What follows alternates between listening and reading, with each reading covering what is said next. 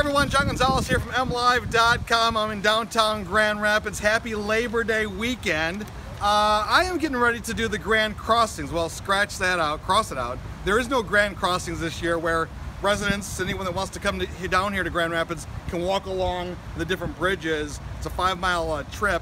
This year there's no Grand Crossing. There is a big party at Ah-Nab-Awen Park with the Labor Fest parade going on. But uh, anyone that's coming down that still wants to do the walk, you can. you got some people behind me laughing and stuff, making me laugh. Um, you can still do it on your own. It's okay. Uh, no, let me tell you though, it's not sanctioned by the city. It's just sanctioned by me.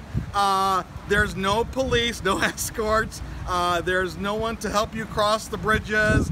Uh, it's very though easy route. I've been mapping it out all day. I have pictures here. You can check out uh, the video. You can check out the list of where to go.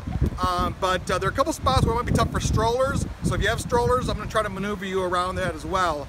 But anyway, come on downtown. I will be here Monday, September 5th, 8.30 in the morning. Come and join me. Again, not sanctioned. This is just me showing up to walk all the bridges downtown Grand Rapids. If you want to join me, you can do that as well. Um, let's come on downtown Grand Rapids, have a little fun, all right? We'll see you guys down here. Bye.